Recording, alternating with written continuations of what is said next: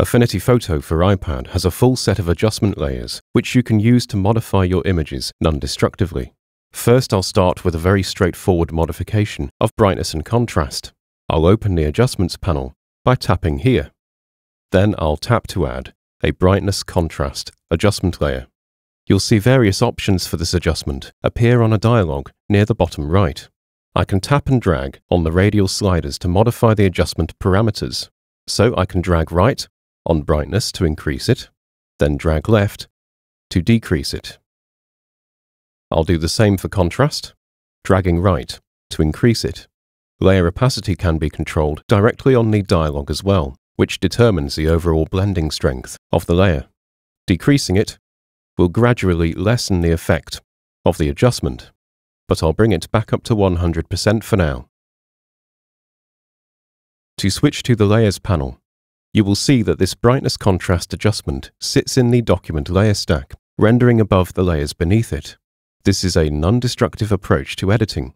I can hide the layer by tapping its visibility icon. Then I can tap it again to show the layer and reveal its effect.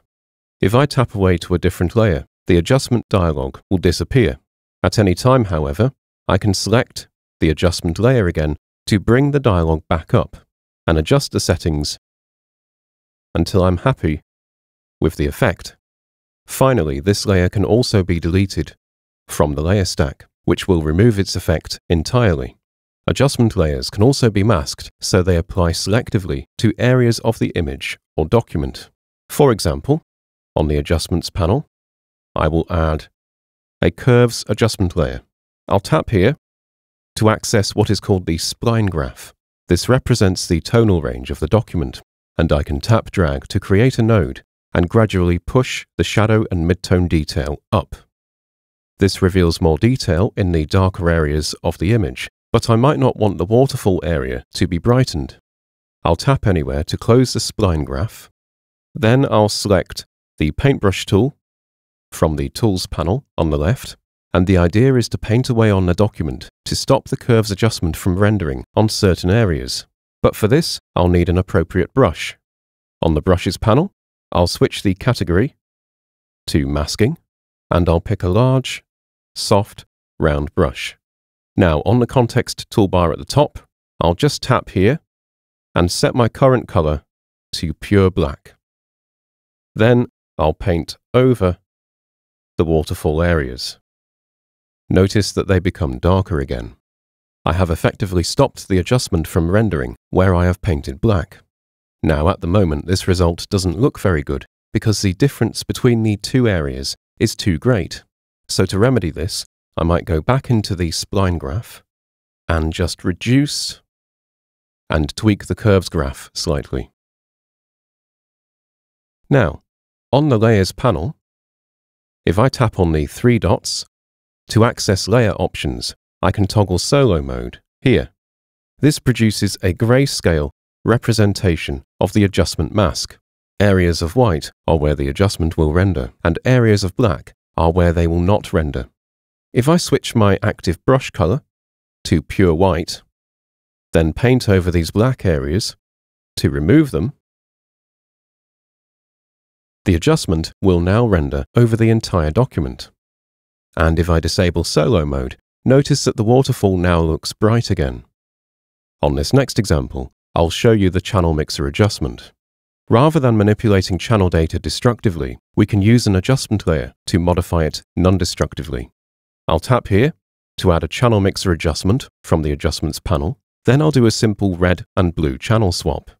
I'm currently on the red channel here, and I need to set its red contribution to zero. But instead of tap dragging, a more precise approach is to simply tap the radial slider, and I can then type 0 in and tap OK. Then I'll tap on the blue contribution and set it to 100. I'll switch across to the blue channel and do the opposite. So I'll bring the blue contribution down to 0 and the red contribution up to 100. I've now performed the red and blue channel swap and my infrared image has come to life with vibrant red and blue tones. I could follow up this channel mixer adjustment with a selective color adjustment.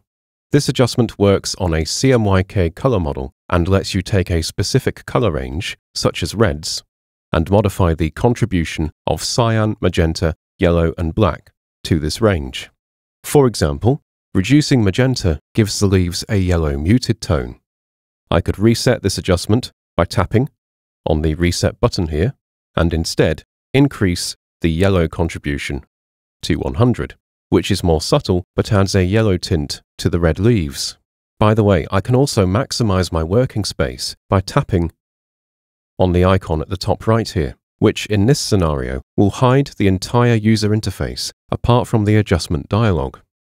I'll switch across to the cyans range and I can increase cyan, then decrease yellow to give the sky a purer light blue tone. Again, because adjustment layers are non-destructive, I can move to the Layers panel and hide the Selective Color Adjustment to see the before and the after. Finally, I'll show you an example of how you can combine adjustment layers with blend modes to extend their usefulness. I'll add a black and white adjustment to this document.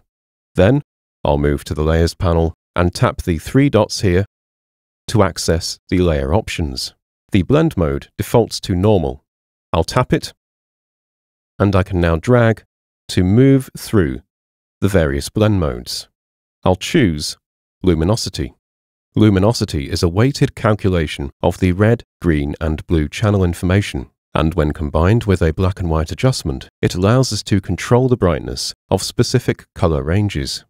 For example, if I reduce blue and cyan on the adjustment dialog, this will darken the sky, creating more contrast between the foreground and background. I can also control the intensity of the red vehicle light trails using the red contribution. A lower value will saturate the trails, whereas a high value will make them more intense, but reduce the saturation. Finally, I can also reduce yellow to darken the building detail. Doing so unfortunately makes this street lamp look unpleasant, but this is no problem because we can non-destructively mask the black and white adjustment away from this area. So, I'll select the paintbrush tool, and I'm already set to the soft round brush I selected earlier. So all I need to do is reduce the brush width on the left here. I can then paint into the bright area of the light source to restore it. I'll come back out and zoom to fit by tapping the magnifying glass icon up here. And finally, I can experiment with opacity to determine the overall strength of the effect I'm trying to achieve. And that was a look at how to use adjustment layers in Affinity Photo for iPad. I hope you found it helpful, and thank you for watching.